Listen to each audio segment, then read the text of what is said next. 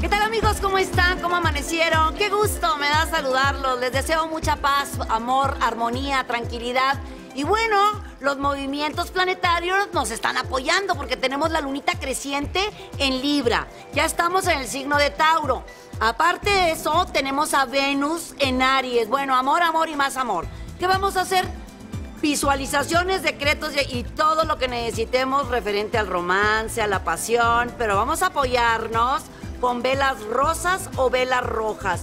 Siempre hay que hacer los decretos en tiempo presente.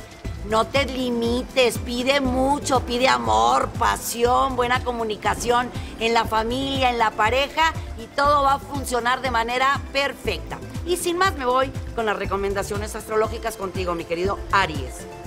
Ponle pasión a todo lo que hagas, mi vida. Algo muy natural en ti, pues eres fuego.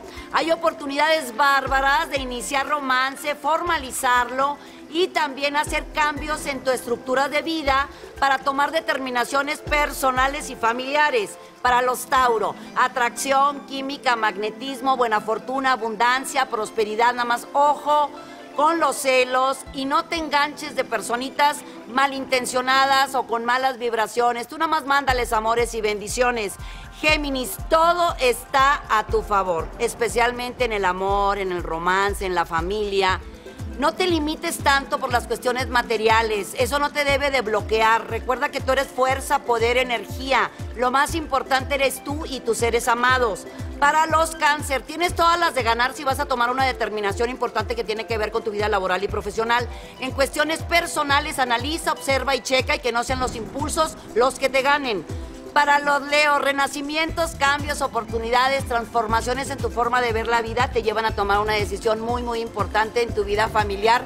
Ay, que te va a dar una paz y tranquilidad espectacular.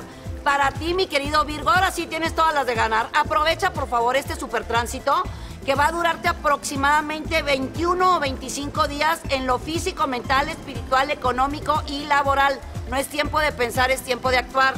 Los libras, si la luna está pasando por tu signo, pues aprovechala en la creatividad, en tus relaciones sociales, en tu intuición, en los planes nuevos que traes en tu mente.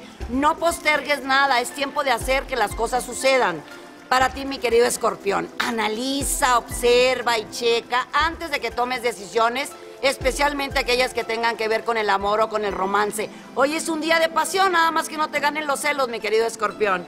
Para los Sagitarios, hay muchas oportunidades de iniciar algo por nuestra propia cuenta, pero el día de hoy hay que analizar, observar y checar y los impulsos hay que seguirlos guardando en un cajoncito para dar en el punto exacto. Los Capricornio, evoluciones, cambios, transformaciones, cosas nuevas, cosas diferentes. Vas a tener respuesta a convenios, tratos, negociaciones o algo que estaba por ahí detenido muy efectivo para ti y los tuyos. Para los Acuario hay un poquito de presión o de tensión en tu ambiente profesional simplemente porque brillas bastante. Tú nada más mándales amores, bendiciones y sigue haciendo que las cosas sucedan. Tú muy bien sabes cómo manejar esa magia de la luz, de la fuerza y de la energía, mi querido Acuario. Y para ti, Piscis, atracción, química, magnetismo. Con esto vas a abrir cualquier puerta por más cerrada que se encuentre. Pon tu sonrisa en los labios, manda amores, bendiciones, mucha luz y todo va a funcionar exactamente como tú lo deseas.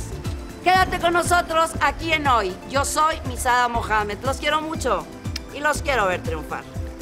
Ya estamos preparando.